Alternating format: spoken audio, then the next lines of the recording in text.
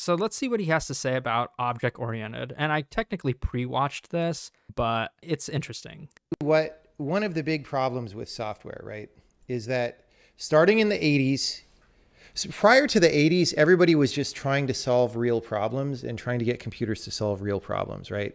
And then start. I hate to interrupt like 13 seconds into the video, but this is partially what I was saying, and I hate too much abstraction. In the older days, there was obviously less abstraction because as more time goes on, we get better ways of doing things, higher level programming languages, right? Like Java has more abstraction than something like C, where you are closer to the hardware layer. That's what I mean by the word abstraction. And so this is especially prevalent in front end development, where you hardly even know what's going on under the hood anymore. I bet a lot of front end developers hardly even know like what a web API is. But anyways, let's continue. Starting around the 80s, computers got fast enough that you had a lot more leeway around how you solve the problems and people started making all these theories about how to uh, how to solve problems in the best way. And so object oriented programming is like one of those theories, right? Oh, on the list of things in C++ that are wrong, object oriented is wrong, right? Because of course, um, uh, Alan Kay invented the term object oriented and it meant something else. It meant Smalltalk, not C++.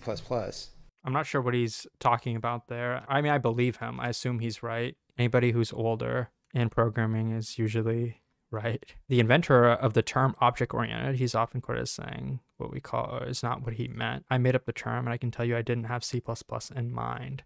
Okay, well, I'll just believe him. So, like, even the term object oriented is wrong the way people use it. Anyway, so people came up with all these ideas about how to program. And then the problem is those ideas require entire belief structures, right? So if you go to program in C++ object oriented world representation style, then you start to believe from the way that you're taught that programming work is about building the hierarchy of objects in the right way or something. But that's not actually solving a problem. It's just conforming to a belief structure that you've been given. After you've decided on that hierarchy of objects, you still don't have a program that solves any problems. Now you have to go write the program within that framework that you decided on, right? So I watched this video the other day. I don't even remember what he says in the rest of it, but regardless of what you believe and what programming paradigm you ascribe to, what he just said is 100% correct, right? Object oriented programming itself doesn't solve a problem, it's just a way. And, and he's right. You get to a point where now you're not actually dealing with like the code that solves a problem. Now you're dealing with the higher level thing. And maybe I'm using this word wrong, but I don't think I am the abstraction. Now you add that layer of object oriented programming abstraction on top of everything, and you're making your functions dance behind classes that have this weird hierarchy. You can't program like that unless you actually understand the world of object oriented programming, all the principles, open, closed, this, that, it does take you away from being able to solve those problems in some way. It adds like a layer of complexity. Now, the reason it was created in the first place, there is a reason because some problems are hard and object oriented programming can simplify a lot of really complex problems. It makes sense that it does exist. And so the problem is, as we get further and further away from real actual problems, more and more of what is taught to people as programming is actually not doing anything. It's just shuffling papers around on your desk, right? And so, like the question of how do I do an interface that blah, blah, blah is just shuffling the papers around on your desk because it's not actually solving a problem. Like what I would say is write the editor and then write the plugins or whatever, write the functionality, make all the functionality work. And then if you're dispatching between them with an if statement and it feels kind of hacky and you need more abstraction for a very concrete reason, then put in a function pointer. But I wouldn't even do that. I would just have an if statement that turns them on or off for a long time because it's it's actually a relatively that part of writing an editor is so small and so another thing I agree with with what he said, and I was actually reading an article about like solid principles. This is why I'm going to make this point, but people talk a lot about the dependency inversion principle, like you should depend on abstractions and all that.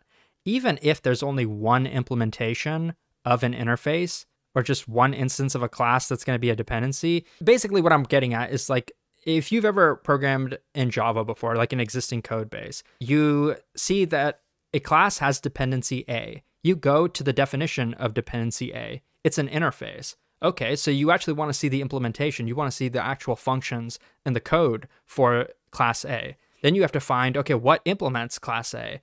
You find a class, it's an abstract class. You're just trying to look for the damn like implementation, just the actual code, not all these empty interfaces and abstract classes. Sometimes it's just so annoying, first of all. People feel the need to like over optimize or prematurely optimize things. Everything needs to be extensible, even though I just have like five classes. Why does it, everything have to be abstracted? Like, what if 10 years from now I want to add a different dependency to this class? Well, I got to make it extensible. Why not just refactor it at that point? I'm not saying there's a perfect solution. Depending on how big your code base is, what the company standards are, and all that, fine. But I think people do, like, especially like the way it's taught in school, the way it was taught to me, it's like these are like the principles, and you shall not break these programming principles. But if you're going to be like practical, sometimes it's better to, sometimes it simplifies the code. In terms of what it solves, that I wouldn't even bother for a long time.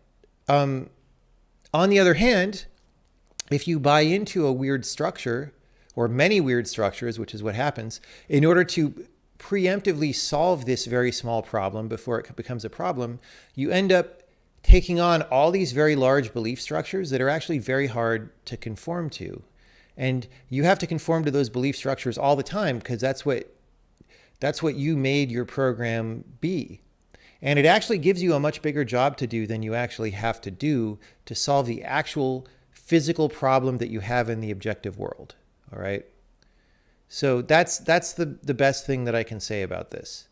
I mean, it's just so true. Like, how can anybody disagree with this video? Because he's right. Like, what if you wrote some code that perfectly solves a problem, but there's some violations of the solid principles sprinkled in there. Well, that could be an indication that your code just kind of sucks. Fine. And true, that can happen. Like you can, there is a such thing as just really badly written code. But you have code that solves the problem. Now you have a second problem. You have to make sure your code follows certain principles. And like he said, they're not always easy to conform to. It's not easy to make your code follow all the object oriented programming principles. I saw this mentioned in another video before. We won't watch the whole video because it's 45 minutes, but I would recommend anybody go watch this video if you want to learn more about why object oriented programming is bad. And when I say bad, I, I use object oriented programming, I've used it. I don't think it's like the devil, but the way he describes it, it's basically assembly line programming